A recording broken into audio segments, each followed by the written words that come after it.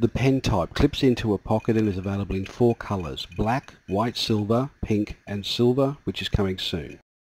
We also have a capless style which is available in green, white silver, pink, black and blue. And finally the cap type, which is available in red, black, blue and white silver. The pen style looks like a pen and is about the same size. It can clip easily into a pocket. It features a half round capacitive silicon tip that makes it ideal for use with iPhone 3 and 4 and iPads and other touchscreens requiring finger touch. You can see on the iPhone application that we are using here that selecting a colour to colour in the Apple image is quite an easy task to complete.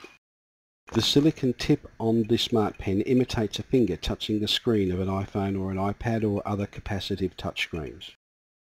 The capless style has a string loop end that can be used to attach the Smart Pen to an iPhone or iPad. It can be extended to give the user a better grip and also features a rounded metallic ball for easy tapping on non-capacitive screens. Shown here is the cap type 3M Smart Pen. The removable cap protects the capacitive silicon tip ensuring a longer life. The stylus can also be extended to give the user a better grip. Used on an iPad you can see that we can play games quite easily such as Spider Solitaire.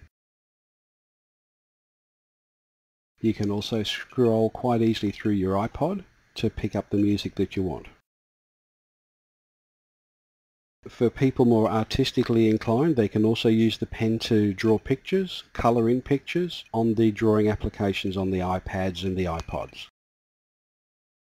All three of the pens have capacitive silicon tips, which means they can be used on iPhones, iPads, they can also be used on other phones such as LG, Samsung, HTC, Galaxy, and quite a variety of other screens requiring capacitive touch applications.